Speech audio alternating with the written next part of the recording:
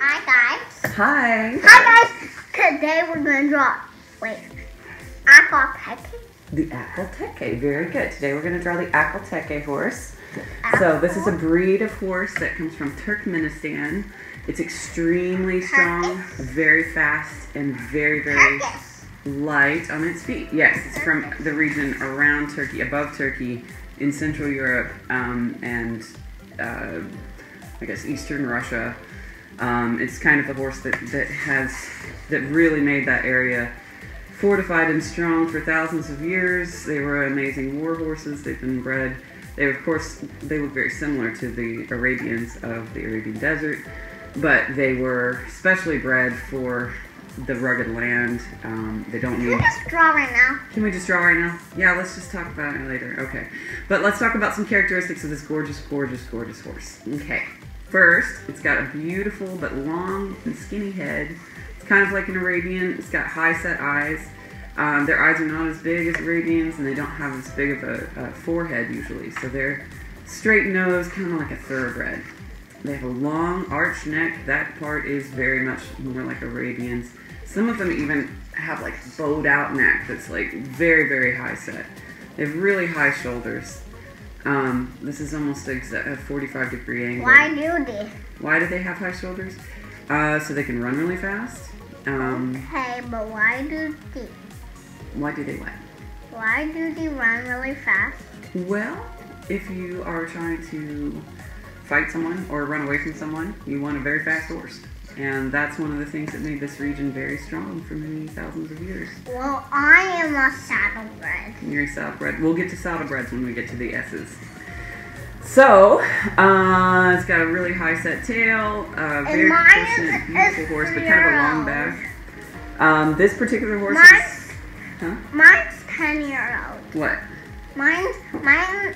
Uh, my Aquateke is three year old. Oh. Four year old. You have an Five year old. Akhal-Tekes are extremely rare. Uh, I think there's only about It's fifteen year old. really. Um, I think there's only about seven thousand in the registries right now, so they're very rare. Uh, I have personally only met two in my life when I worked on a, a thoroughbred ranch for a little while in college. Um, I got to meet a couple of these horses. The thing that struck me about them is how tall and skinny they are. Their their chests are super narrow, like they're the size of me. You know, they don't have like a big horse chest or anything. They're just small and um, very fast and Why very smart. really big? Extremely They're smart. big. Um, they are big, yeah, and they move super fast. They could just be like, Awesome. I never rode one because I was honestly I felt too bulky on top of one. Um, but they were. Uh, I wanna write. Uh, let's draw right now. okay, let's just draw. And anyways, they're beautiful, magnificent horses. Let's draw right now. Let's draw right now. So first things first, we're gonna start off by drawing this pretty Akhal-Teke's head. Now I'm gonna switch it back down to time lapse.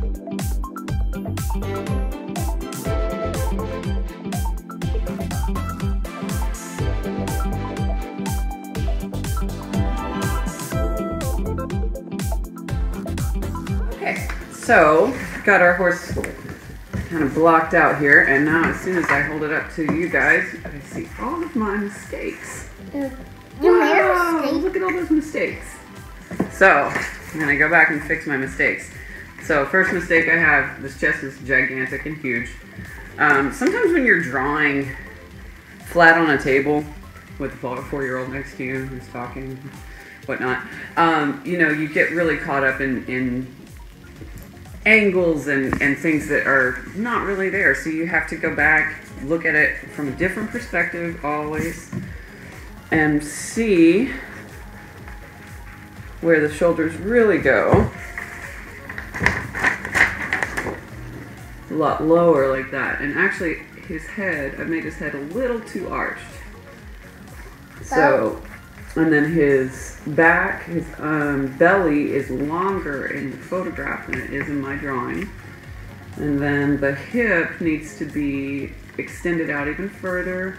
And the hock, this part is called the hock, um, which is the back joint of the back leg.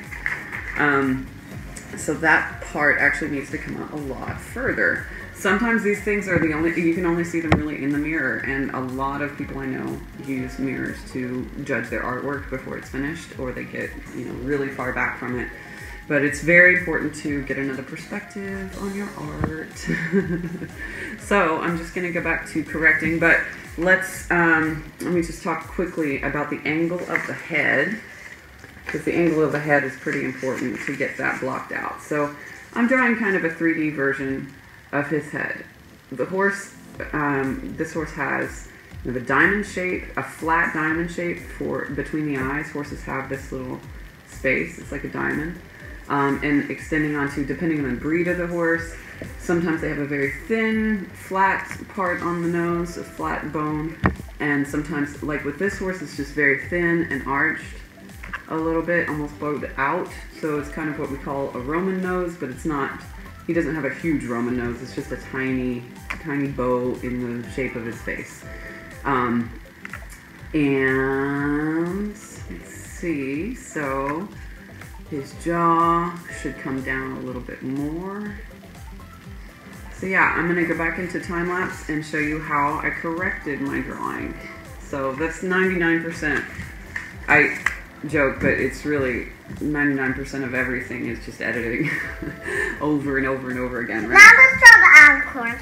We will draw the alicorn next episode, but first we're going to really make this Akhal-Teke look great. Okay? Mine looks great. Yours looks great. This is Inana's alicorn. I mean, this is Inana's Akhal-Teke. It sounds like alicorn. Do you know where that castle leads We- to?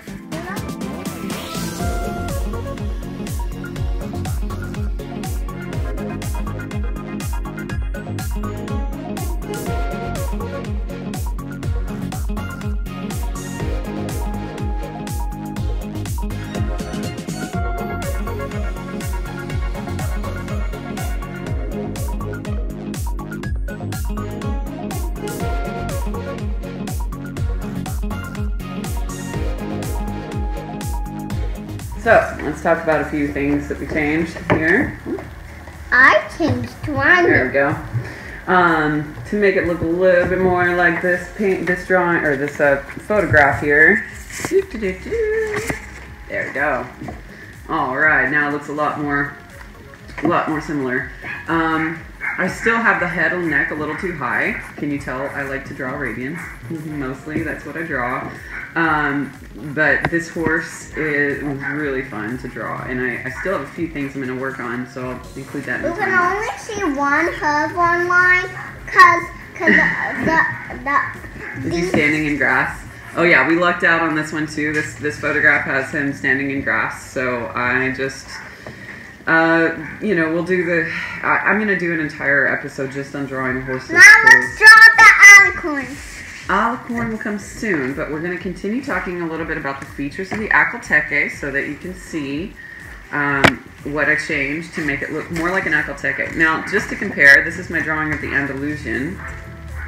Okay, so let's look at the, how different this horse is. First of all, they're both stallions, but this horse. No, that one's a mayor. Okay. In your world. Um, so the Andalusian stallions, they don't ever really show a lot of definition in their neck. They have very thick crests on their neck and very thick crests on their butt. Um, and they have very strong hips, but they don't have a lot of definition in the muscle stru- structure. definition? Definition means can you see the muscle? Akhal-Tekes just naturally carry very, very little fat. They just don't carry a lot of fat. Even if you feed them a ton of food, they still stay very thin. I've, I've never heard of or seen it. An do Akhal-Teke they was have like, babies? yeah, they have babies. Yeah, when they have babies, they get a little bit big, but um, you still never see a thick crest on an Akhal-Teke usually because they just burn off everything. Um, very high Well, mine's metabolism having horses. a baby. I'm sure it's possible to make one fat. I just don't know. I've never seen it. Anyways, uh, so you see every muscle and every detail pretty much in the photographs of these horses. It's really fun to draw Akhal-Teke musculature because you can see it. Um, Um, at some point, we're going to go through and just draw the muscles of a horse, but of course, that changes with the conformation of the horse. So, a draft horse is going to have different looking muscles than a thin, wiry you know, racehorse or jumping horse. Will you please not draw on that? Thank you. Okay. Um, oh, also another thing I want to talk about here is some materials I'm using. You have seen me use this little weird guy um, for erasing. This is called a kneaded eraser. Kneaded, like like K N E A. Um, sorry, K N E A D E D. Um, because you need it, but you also really need it. I got some toys and doing. Hey, hey, we're not doing that right now. Remember, we're doing drawing and we're talking about art supplies. So, what I generally am using to create um, just sketches is a technical pencil. I prefer these. These erasers are amazing. They pick up almost all the graphite, um, so you can really clean up your drawing really well. And they're very cheap. Uh, Amazon, they're like a dollar, two dollars, something like that. Depends on how many you get in one pack. Um, so yeah, the kneaded eraser is like an invaluable thing for me. I love it. All right, so going back to the Akhal-Teke, I'm not quite finished.